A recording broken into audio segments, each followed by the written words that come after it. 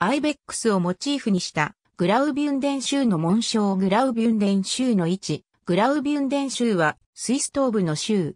州都はクール。人口は19万6610人。11の地区に分かれている。北部、西部にアルマン語系及び東部にバイエルン語系を言語とするドイツ語話者が多いが、南部にはロマンシュ語、ロンバルド語系イタリア語を話す人々も住んでおり、中でもロマンシュ語話者の比率はスイス国内で最も高い。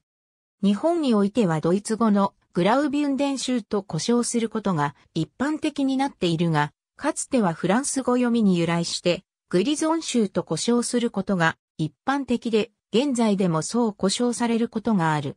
住民構成は、北部及び西部はアレマン人、東部はバイエルン人、南部はイタリア人、ロマンス人などが定住している。ダボス・グラウビュンデン州の地図グラウビュンデン州はスイスの中央より東に位置している。南東、イタリア国境を話されている言語はドイツ語、イタリア語。